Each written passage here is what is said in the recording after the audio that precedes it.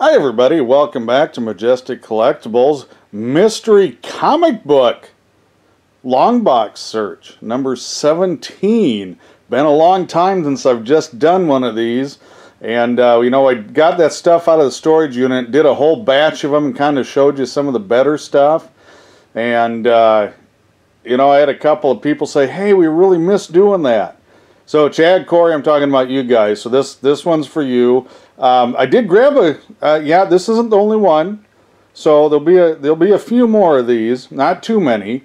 Um, but let's go at it.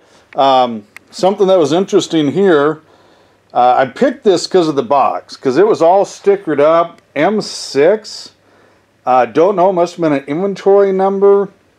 It said coverless comics, which did not thrill me. So I did pull the lid off, and nothing coverless. And I don't know if you can see that crossed out. I'm not gonna I'm not gonna say it. It actually shows up in the video better than the the naked eye. Somebody crossed that. So I'm thinking, well, you got to sort through a box like that, you know. So um, you know, let's have some fun with it. Uh, if you get a chance, guys, uh, click like, hit subscribe, send us your comments and questions. Check out our other unboxing videos. And, uh, okay, I've never heard of that. I have never heard of that.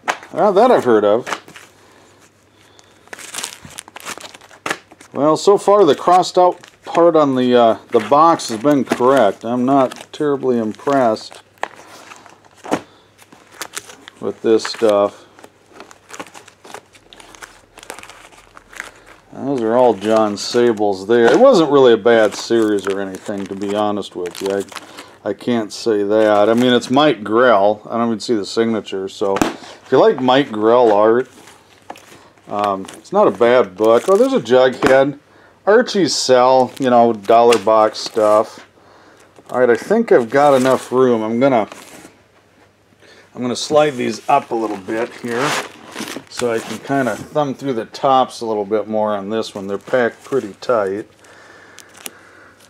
Jughead, I'll pull them off the side for now. Yeah, I'm not seeing much for Justice there. Uh, well, there's different Justice. That's Mar. Yeah, that's the Marvel one. Uh, that was actually kind of a fun book. It was uh, kind of a pulp style. Jack Kirby did it, but it was kind of, uh, you can see up there, Doc Savage, so very 30s uh, kind of serialized pulp. Um, didn't last long. I don't rem remember how many issues there were. weren't very many. And that one's really rough, so we're just going to leave leave that in there. Some Mr. Miracle, uh, is that the annual? I think that's the, oh, a special number one. Uh, Justice League Europe. Uh, I'm going to take a few more of these out so we can see a little more of the cover. There we go. These old bags, they kind of melt and they stick together. Um, so sometimes it's a little tricky getting these things separated. Uh, nothing Nothing really there. Trying to get, uh, oh, Kamikaze. I don't remember that title at all. There's so much indie stuff in the uh, late 80s and 90s. It's kind of fun, even though they're not high dollar, just to go through some of these things and just see, like the preteen Dirty Gene Kung Fu Kangaroos. Yeah, I wonder who they're ripping off there. Gunk, gunk, gunk. Uh, well, it's not radioactive adolescent black belt hamsters, but I think it's the same uh, kind of thing. There's another one. Preteen Dirty Gene Kung Fu Kangaroos. You know, I'm gonna I'm gonna pull those out. I can't imagine they're worth much, but uh, fun books. A lot of people probably never seen them. Uh, Kickers Inc. This new universe stuff was actually not a bad idea, but I tell you, it just never never developed it. They just never really, I don't think, put the resources behind it. Uh, art and storyline. Uh, now, this is, Kull is, is really nothing, but the Marvy, Marvy, Marvel movie specials are starting to sell. Uh, people are starting to fill in some collections on that. And I don't know, I'll pull it because it's the second one. That was a fun fun book, World of Krypton. I've never been a big Superman fan, but it, it was kind of an interesting, uh, you know, what was Krypton like kind of thing. Another Blackthorne Labor Force. Nope, never heard of him. Laughing Gas, Mutant Ninja Mutants. Okay. The Snail with the Samurai Sword. More Laughing Gas, so another parody book. Uh, there's another uh, Phantom of the Bopera. Uh, Last Starfighter, it's a movie, so there's two, three. It looks like I got some sets. I'll pull those out. They sell okay as sets, but not for uh, not for a lot. Fun book on Legends, Legion, one of my all-time favorite comics, but nobody collects them. Same with that. What in the world?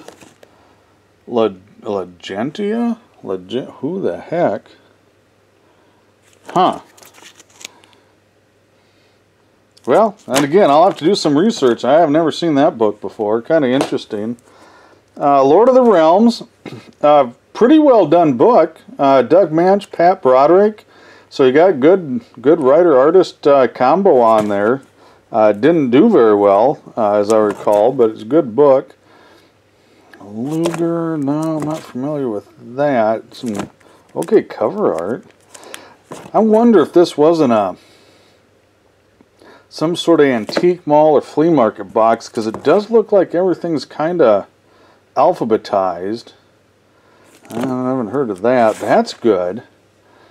I don't think that's the first edition. That might be the reprint. I'll have to look. But the Madame Xanadu's nice covers. Oh, there's more Mys. I found those some in that big batch. I just kind of pull them if I can get a run together. It's uh, manga from Japan. It's the American version. Uh, that was a fun story. I really enjoyed that one. Oh, Manimal. I don't. That's the must be the TV show. They they don't sell, but I've never seen that. Okay, I gotta there's the back. Kind of a Nazi horror thing? I don't know. I'll have to look that up. There's another Mai the Psychic Girl. I've had a few of those that really don't sell. Man of Steel. Eh.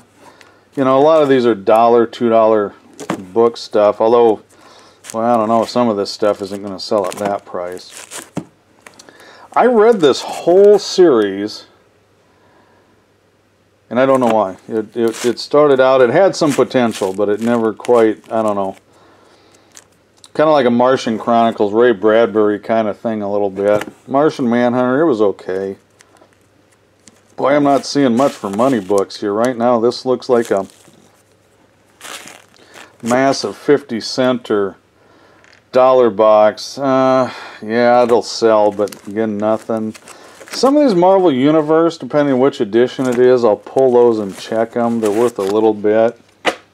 Oh, well, now here it's getting a little better. Mask. I'm just going to pull these. Okay, let's see what we got here. One, two, three number ones. And one, two, three number fours. If I can find some twos or threes, I might have them in some of the older older stuff. I'll have to look. Uh, those will be pretty good selling. Uh, if I can get the sets of them anyway. Oh, hey, I like that. Masters of the Universe, Star Comics, number one, one, two, three, three of them. Boy, they look nice. Nice condition, too. Okay, that's that's the best stuff so far, money-wise, I think. Amazing Man, that was not a great series. Uh, some of these sell. It's got the, um, oh shoot, I can't remember the group in them.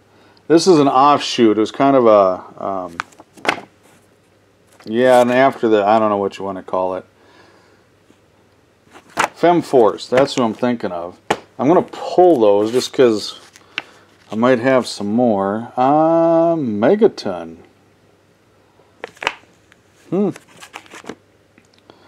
Don't know. I'll pull it out just for some research. So finding, I tell you, I've been in this game long enough to see stuff that um, stumps me is kind of fun. I don't don't get that a lot anymore. Sure getting it in this box though. I don't know what that Merlin was. Midnight, Milton Knights Midnight Rebel Skunk. Oh boy. Yeah, I'm, I'm yeah, no. Midnight Skulker. Duck Knight. Oh, that's a Frank Miller parody. I'm gonna pull that. Oh, there's and that was number that was number two. Oh, there's three. That must be uh, Doctor Strange on there. Okay.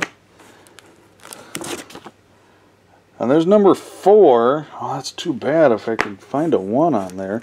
This was a really nice line at uh, the MLJ, basically the Archie uh, heroes from the, um, well, all the way back to the 40s, really, but they came back um, as the Jaguar, the Fly, stuff like that, um, back in the 60s, and they revived them again. Uh, Rich Buckler art, so solid art on it. Uh, really, the, actually, was a good book. It never caught on. Very crowded market. But if you kind of like that golden age, old school stuff, uh, not a bad book to pick up and read. Should be cheap. I don't think any of them are uh, worth hardly anything. There's a red circle. Those are a little harder to find. Uh, but I'm still not seeing them. Yeah, I don't know. I might pull those later. Send them in the maybe pile. Millennium, eh. Is an okay read. Miracle Family with Miracle Man. Uh, don't know. I'll do some research, but I doubt it. Boy, that used to be a hot book, that Miracle Man number one. Uh, kind of a revival. I'll pull it. I do have a few buyers for it. Oh, here's what happens when you... This is the book you make when you don't have uh, the Barbie copyright. Is you draw Barbie and then call it Misty and give her a little bit of a, a 40s uh, peekaboo do just to, you know, make it different. Uh, Star Comics and Into the Hearts of America. It's another title, though, I do not see a lot. I doubt it's worth anything, though. Mr. Cream Puff. Well, unfortunately, he seems to have the same dietitian I do. This is a good line really like the Mr. Monster. It's it's a parody satire kind of deal, but look at the bottom. You got Basil Wolverton's in there. Um, you know, I, I, mean, it's just it's, they're fun books. You don't want to take it too seriously, which is probably why it says Super Duper Special Number Two. I actually don't think I have this one for mine, so I'm going to pull those all out. See if I have it in my collection. It came from hell through the rinse cycle. Yeah, I gotta I gotta pull that one too. Uh, this was a good series. Came from the UK, so it's an import series. Uh, black and white. Um, well, it ran in black and white in their uh, newspapers a lot. And then they also had uh, separate comic editions, uh, I believe. Uh, I don't know a lot about it. Max Allan Collins, an Iowan, and Terry Beatty. Uh, and it ran on and off. There's more of them overseas than you see here. Uh, boy, that's a good book. I haven't had one of these for a really long time. Usually you get the Captain EO or something like that, but this is the Moonwalker one. That could be worth a little bit. I don't know. I haven't had one of those uh, Michael Jacksons in a really long time. Daniel Dust, kind of a Nor book, yeah. Nazareth, never heard of it. Never heard of it. Uh, Neil the Horse, uh, yeah, never got into that psychedelic stuff. If you like, um, oh, Rick and Morty and what's the other one? Some of that, uh, I think it was Nickelodeon stuff. You probably like that one too. No, Nemesis, eh, eh, eh, eh, eh. Eh. There's the reprint. Uh, that's the reprint of the New Gods. Don't get a lot of demand for them. Pied Piper Comics is a really oddball indie book. I've seen them in the past. I don't know how much they've put out. Um, not a lot is my guess. Uh, usually not worth anything though. Some New Mutants. Teen Titans, that was another good run on that. I really enjoyed that Teen Titans run. Oh, that looks like a horror book. Doug Moench, Paul Gulacy, I'm not. I don't know McGregor. I don't think I do. I might know him. Huh. Well, I'll have to check that out. That might have to go my horror sci-fi pile, but I doubt it's worth anything. More New Universe. Uh, I don't know. I'll check it. I haven't actually bothered to try and look up New Universe stuff for a long time because it just doesn't seem to have much interest. Night music, sci-fi, fantasy. Well, all right. I'll, I'll give it a look. I have sold some of these. This is part of that uh, FemForce again. Uh, this is Nightveil, and some of these are worth surprisingly good amount good amount of money 10 20 dollars each some are five it does yeah and i don't know what the rhyme or reason is to it but I will uh, I will pull all those and at least do the research on it and uh, see what it's like. Ninja, I've had that book but never really had any big call for it. There's Ninja High. I'll put that in the manga Japanese pile. Uh, they're not worth a ton, but they're they're good and they're usually kitty safe. Oh, Normal Man, yeah. Well, that's an homage cover, so there's your Tales of the Crypt uh, Haunt at the Vault of the Crypt Normal Man, two-fisted suspense stories, so that might have uh, some collector stuff to it. There's the Richie Rich Normal Man cover, homage to one of the Richie Rich books. I couldn't tell you which one. And there's another one. There's uh, homage to ElfQuest. That's about the only reason anybody buys them is just because of the homage covers or homage covers or homage covers. You can pronounce it however you want. I really don't care. Uh, Null Patrol, another indie book, not familiar with. Omega Man now, I believe it was number 8, is the first Lobo. And I remember, oh, and we, yeah, we went right on by that. Darn. Uh, that's too bad. But if you like Lobo stuff, especially early Lobo stuff, Omega Man is the place to find him. And he really was just a side character in it. He was not the main main feature. One-armed swordsman. Victory Comics. Holy cow. No idea. Kind of interesting, though.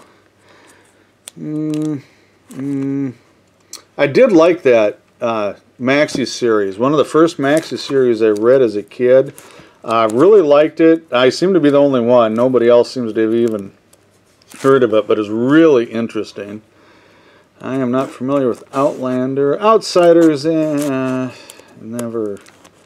That's a different Outsiders, the first issue special. I think the only good one in that run is still the first appearance of Warlord. I'll pull it because it's an older book. I haven't had one for quite a while, so I will check on that. Looks like um, Oh, Captain Carrot, yeah. Uh, not so much. Uh, no, no, no, no. Okay, so, you know, nothing super fantastic. I would say, you know, the mask is, and that Madame Xanadu, and the, um, oh, I buried it here, I think. Where'd my, oh, shoot, where'd I buried it? Well, it's the Masters of the Universe number one books, the three of those. I think are definitely the, the best out of the batch. Um, anyway, I'll have a few more of these long box videos, and I'm going to do right after this, I'm going to be shooting some more action figure box search videos. So check those out, and thanks for watching.